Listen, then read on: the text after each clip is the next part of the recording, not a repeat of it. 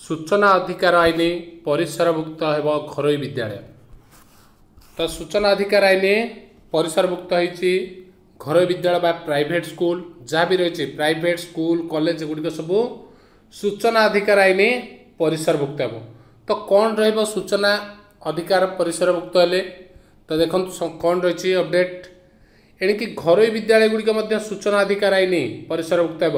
ଅର୍ଥାତ୍ ଯେଉଁ ସୂଚନା ପାଇଁ ଆପଣ ତାକୁ ସୂଚନା ସେଠୁ ଚାହିଁବେ ସେ ସମସ୍ତ ଘରୋଇ ବିଦ୍ୟାଳୟ ଦେବା ପାଇଁ ବାଧ୍ୟ।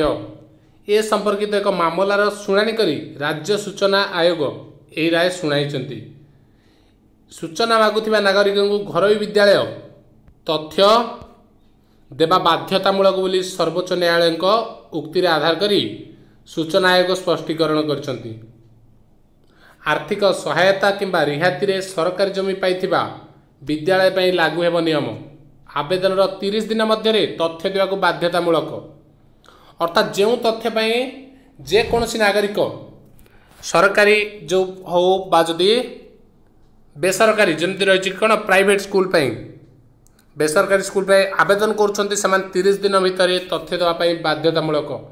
ଯାହାକି ରହିଛି ସୂଚନା ଅଧିକାର ରହିଛି ମାନବାଧିକାର ଅଣ୍ଡରରେ ଯାଉଛି।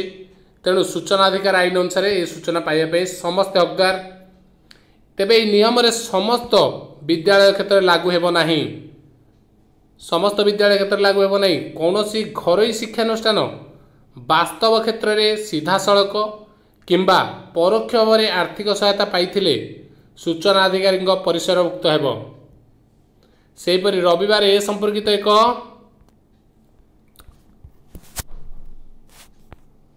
ସାମ୍ବି ସାମ୍ବାଦିକ ସମ୍ମିଳନୀ କରି ଓଡ଼ିଶାର ଅଭିଭାବକ ସଂଘ।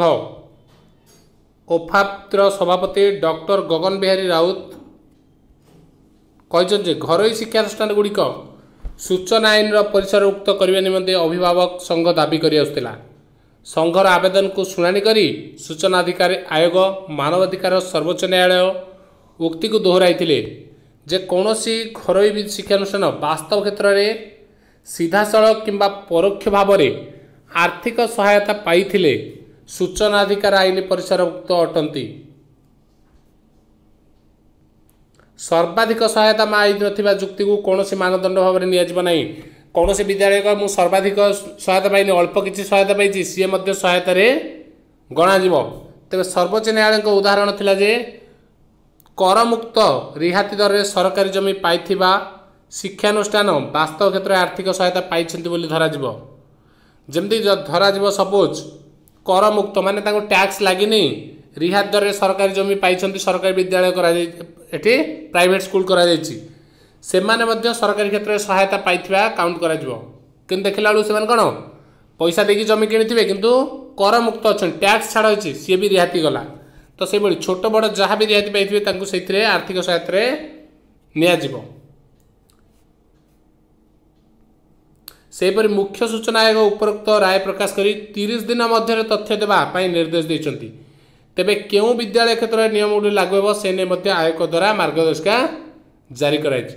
ତ ବର୍ତ୍ତମାନ ସମୟରେ ଯାହା ଅପଡେଟ୍ ରହିଛି ପ୍ରତ୍ୟେକ ସରକାରୀ ଅନୁଦାନ ପ୍ରାପ୍ତ ସେ ଯଦି ୱାନ୍ ପରସେଣ୍ଟ ରହୁନା କାହିଁକି ଯଦି ସରକାରୀ ଅନୁଦାନ ପ୍ରାପ୍ତ ହେଇଛନ୍ତି ବିଦ୍ୟାଳୟ ଘରୋଇ ବିଦ୍ୟାଳୟ ତାହେଲେ ସେମାନେ ସୂଚନା ଅଧିକାର ଆଇନ ପରିସରଭୁକ୍ତ ହେବେ। ଅର୍ଥାତ୍ ସାଧାରଣ ନାଗରିକମାନେ ମାଗୁଥିବା ସୂଚନାକୁ ସିଏ ଦେବା ପାଇଁ ବାଧ୍ୟ।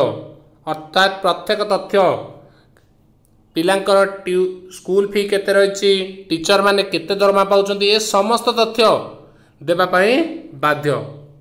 ଏବଂ କେଉଁ କ୍ଷେତ୍ରରେ କେତେ ଖର୍ଚ୍ଚ ହେଉଛି ଏ ସମସ୍ତ ତଥ୍ୟ ଦେବେ ସରକାରୀ ବିଦ୍ୟାଳୟ ସରି ଘରୋଇ ବିଦ୍ୟାଳୟ। ଠିକ୍ ଅଛି? Thank you